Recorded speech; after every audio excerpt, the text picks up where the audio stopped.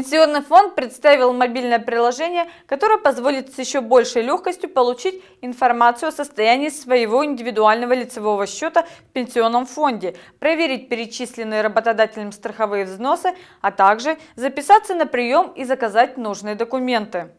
Бесплатное приложение пенсионного фонда, доступное для платформ, дает возможность пользователям мобильных устройств воспользоваться ключевыми функциями, которые представлены в личном кабинете на сайте пенсионного фонда.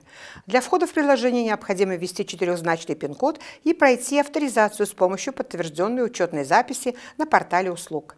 Подтвердить упрощенную или стандартную учетную запись можно в офисах Почты России, Ростелекома или клиентских службах пенсионного фонда. В дальнейшем дальнейшем вход осуществляется через этот пин-код.